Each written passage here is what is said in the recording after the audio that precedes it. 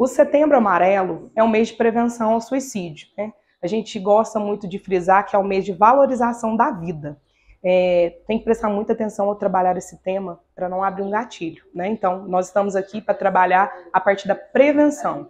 É, nós estaremos aí com o movimento no dia 19, na terça-feira, a partir das 9 horas da manhã, na Concha Acústica, é, repintando as frases que os próprios pacientes pintaram né, no ano passado, é, motivando a vida. E com isso vai ter junto o movimento da Oficina da Palavra, que acontece todas as terças-feiras aqui no CAPS, e essa oficina vai ser lá na Concha, com música, poesias, né? Vamos ter poemas que vão ser recitados lá no momento.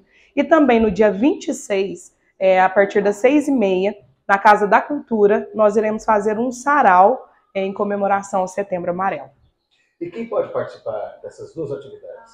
Toda a população, está aberta a toda a população a vir conhecer e a, queremos também mostrar para a população que nós estamos aqui, que o pessoal não está sozinho.